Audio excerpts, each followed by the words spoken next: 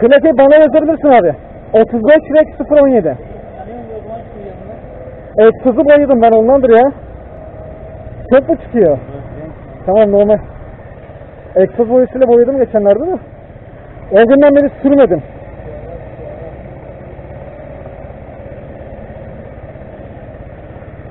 Herhalde biraz böyle olması normal. Bir sürü olur böyle herhalde.